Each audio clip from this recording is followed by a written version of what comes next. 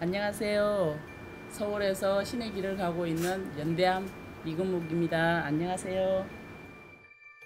땅에 가서 예우를 갖춰야 됩니다. 그러니까 안 팔리는 거예요. 혼이 떠나질 못하니까. 그러니까 그런 바로 그런 경우는 무지무지해요. 아, 너무 많다. 예.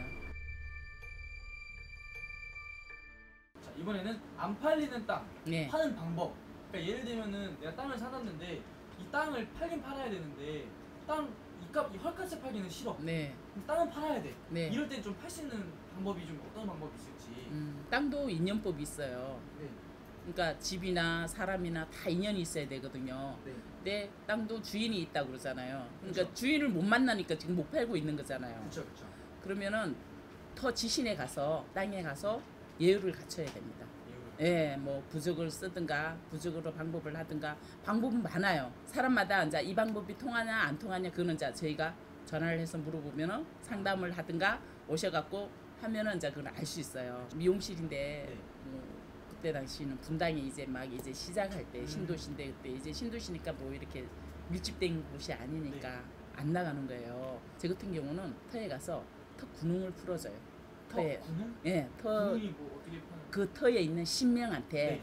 터를 풀어주는 거예요. 아. 배우를 해주는 거예요. 터에 가서 이렇게 방법을 하면은 바로 나가요. 터에 가서 비는 거예요. 음. 그러니까 터에서 끌어들이는 거죠. 음. 인연법을.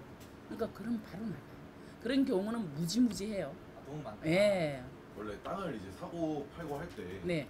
사람이 솔직히 말씀드릴게요. 사람이 죽었다, 뭐 죽은 장소다라고 음. 하면은 엄청 안 팔리잖아요. 예. 그런 그러면은. 뭐 선생님 같은 경우에는 그 땅이 잘 팔리게 하려면 아무래도 거기서 죽은 영혼들을 좀 그렇죠. 기분을 풀어주는 그렇죠. 그렇게 해보신 적도 실제로 예, 있습니다. 오래된 집인데 사람이 앉아 말하자면 거기서 죽었어요. 음. 뭐안 좋게 돌아가신 거죠. 그러니까 안 팔리는 거예요. 혼이 떠나질 못하니까. 이게 혼이 거기에서 머무르면은 그 터가 움직이지를 않아요. 이제 처음에는 안 팔리니까 그냥 새를 주든가 할 거 아니에요. 네. 새로 사는 사람도 힘들어하는 거예요. 음. 그러면 어떻게 해야 되냐? 우리 무속인을 의뢰해가지고 가서 터를 이제 풀어주는 거예요. 자, 좋은데 가시라고 이제 그러면은 언제 그랬나 하고 진짜로 터가 떠나는 거예요. 그게 인연법이. 그러니까 이게 터에서 붙들고 있으면은 그리고 혼이 붙들고 있으면은 그것도 이게 호- 가야 되는데 갈 곳을 못 가고 그 자리에 머물고 있으면은 힘들어지는 거예요. 자, 터에서 좋은 데 가시라고 천도제를 해주고 그러고 나니까 일주일도 안 돼서 바로 그러니까 이게 바로 덕을 봐요. 어, 예, 예. 그러니까 이게 이제 자기와의 인연법의 코드가 맞으면은 음. 그 소원이 바로 바로 이루어지는 거예요. 문서는 그렇게 해서 많이 해결이 됐어요. 오, 예, 자신감이 있으시고 예, 예. 자신감 있죠. 자신감 있습니까? 네. 알겠습니다.